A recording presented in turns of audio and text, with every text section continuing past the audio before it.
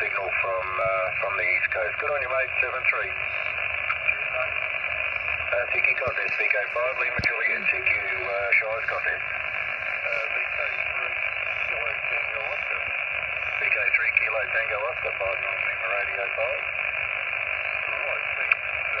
Qualifying uh, foundation call, and I was on our foundation for about uh, seven, eight months before getting the AKA.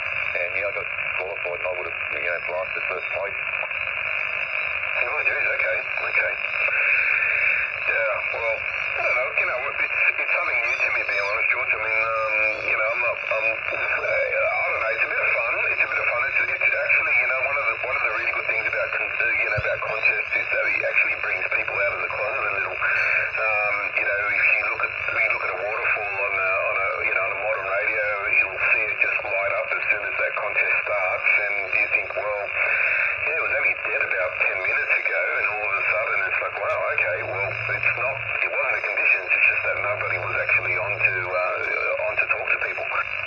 Yeah, that's right. It does bring them out of the woodwork. Like I haven't concept, like I'm formerly Coffs Harbour. I've only been back in Sydney now since uh, 2016, so what's that, four years roughly. And, um, you know, I was a regular conceptor when I was up there, plus I had um, acreage, and plus I had a, an antenna, a doublet, uh, which was just short of 160 metres. It's actually re- resting at about 150 metres. It was growing because it stopped growing copper, so it sort of stopped stretching under its own weight, so it was getting better and better. And, you know, I was regularly concepting, particularly on 40 metres, because that antenna had plenty of gain over. Yeah, VK2 aka uh, VK2Y.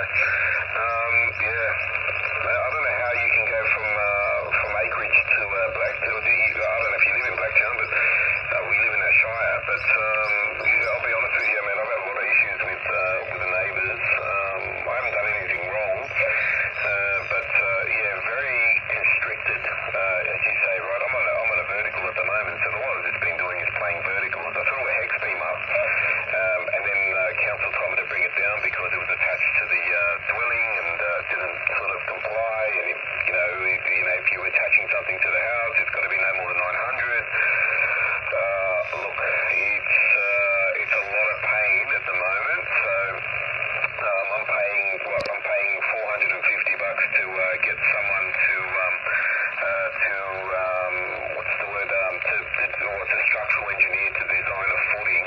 Uh, just to, not to pass council, but if the council do get a complaint again from one of the neighbours, then um, you know at least I have the ammunition, right? Of five meters of of five meters away from any border, no more than 10 meters in height, and um, you know has a uh, certified footing. And, and if I do that, then pretty much they won't be able to touch me, and I can throw that hex beam back up in the air. Over.